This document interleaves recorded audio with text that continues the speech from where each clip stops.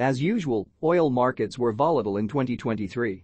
Oil prices were driven by recession fears and OPEC plus production cuts. As a result, the price of WTI oil fluctuated between 64 and $94, while the price of Brent oil was in the 70 and $95 range. At this point, it is obvious that OPEC plus production cuts have managed to put a floor under oil prices, but failed to establish a new upside trend. The sluggish demand for energy in Europe and the problems of China's economy did not allow oil prices to test the psychologically important $100 level. The price cap on Russian oil, which was set at $60 by the Western countries, did not have a significant impact on oil market dynamics. Russia sold oil at a discount to China and India, but the size of this discount did not depend on the price cap. Thus, the price cap did not serve as a bearish catalyst for oil markets and also failed to provide any additional support, given that Russia's exports were cut as a result of a deal with OPEC+. Geopolitical factors have traditionally played a significant role in oil markets. In 2024, oil traders will closely monitor conflicts such as Russia-Ukraine and Israel-Hamas. As of now, the Israel-Hamas conflict has had minimal impact on oil prices. While tensions in the Middle East are generally considered a bullish catalyst for oil markets, this year has seen temporary spikes without fueling a sustained bullish trend. Regarding Russia, Western countries have announced additional measures to enhance the effectiveness of the price cap, but it remains uncertain whether they will influence Russian oil exports. Any scenario indicating an escalation of tensions in ongoing conflicts could contribute to a bullish outlook for oil. However, it's important to note that such scenarios did not materialize in 2023.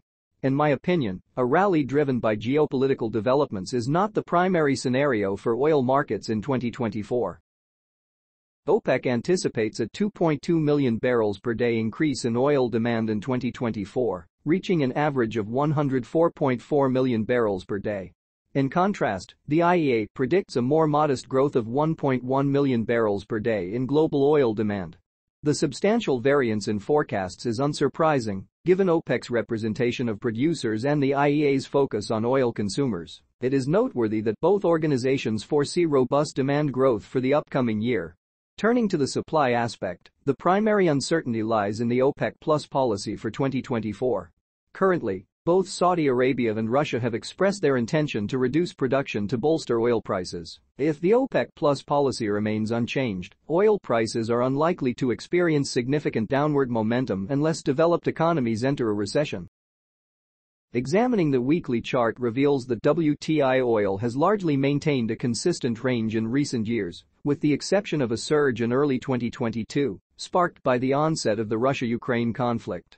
While this conflict persists, oil prices have reverted to their trading range due to the absence of supply disruptions. The current weakness in demand from Europe and China is being counteracted by OPEC plus production cuts.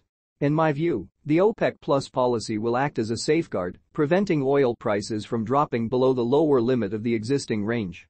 It is likely that any downturns below $64 will be swiftly countered by trader buy-ins. Simultaneously, there is a reasonable likelihood that WTI oil could ascend towards the upper boundary of the range as China rebounds and the US steers clear of a recession. It's worth noting that reaching and sustaining levels above $90 and testing the $100 threshold will demand exceptionally potent catalysts, particularly from the geopolitical arena. However, given the market's response to the nearly two-year Russia-Ukraine conflict, sustained upward movement beyond $100 will necessitate novel factors influencing oil prices. Thank you for watching. Please don't forget to support the channel if you enjoyed the video. See you in the next one.